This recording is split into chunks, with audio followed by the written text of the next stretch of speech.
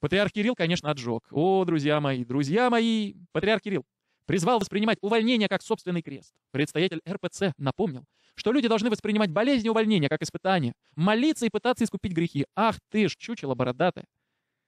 Как связаны грехи с болезнями и увольнениями? Это не основано ни на каком православном предании, ни на какой традиции.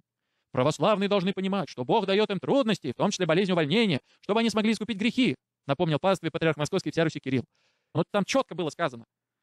Помогайте, навещайте, заботьтесь о больных. Знаменитая притча о добром самарянине. А, помогайте заключенным, помогайте странствующим, помогайте тем, кто лишился крова, помогайте детям, заботьтесь о детях, о детях, о сиротах, о больных.